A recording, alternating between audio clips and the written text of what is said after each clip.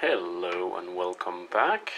Here we have another Danish coin, one that I do kind of like. This one is a 5 cent, or in Danish, 5 øre, from 1940. So this bad boy is more than 80 years old. And it is from uh, World War II. So yeah.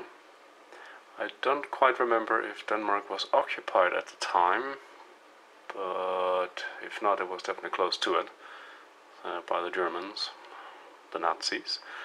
But anyways, five cents. So it says Denmark up there.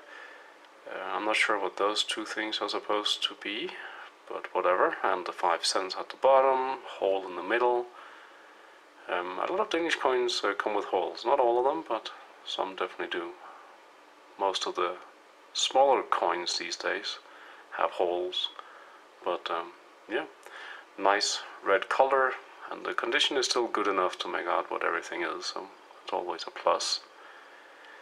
and again I don't know where I picked this up. Uh, I'm guessing I found it somewhere um, because I'm not this old so yeah I did not get this from a store.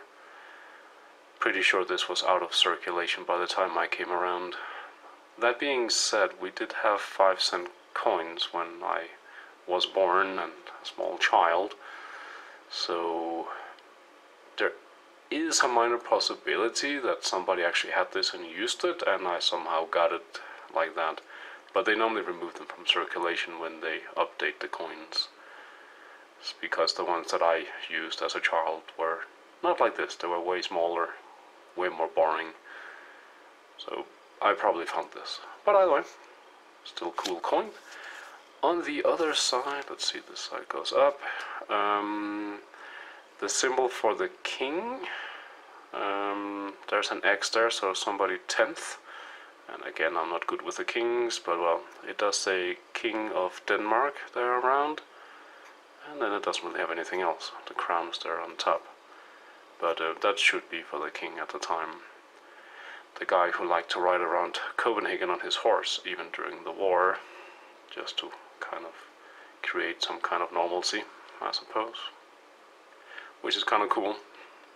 I actually didn't imagine a king would be riding around a city during uh, war times, but uh, yeah, special dude, I guess.